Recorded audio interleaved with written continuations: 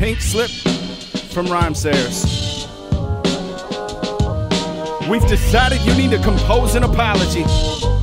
We realize this won't be easy, so start by writing, I have done, and then let autocorrect come up with the rest.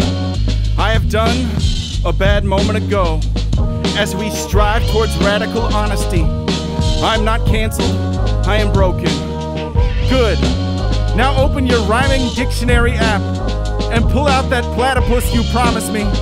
Sagittarius wrongly believed your exaggerated songs could be seen by the hopeless as a coping mechanism. We are getting word that some of your fans think your apology was performative. And as a performer on our roster, we can no longer tolerate your association. We acknowledge that we've enabled your behavior for the better part of a decade by allowing you to glean value from our pyramid scheme built on drink tickets, misogyny, and hero worship. And for that, we project sad vibes. Very sad. Very sad vibes. Your services will no longer be needed effective immediately.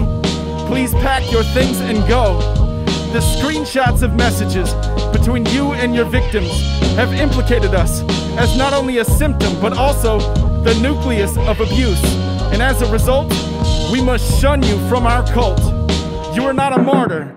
You are not even an interesting person. It's an insult to victims everywhere.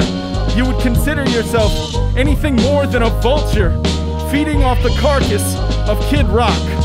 You stole a culture that stole a culture, which makes you basically some form of yogurt.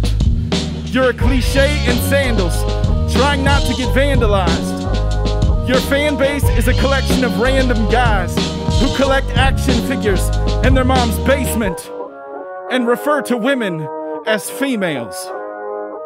Good day, sir.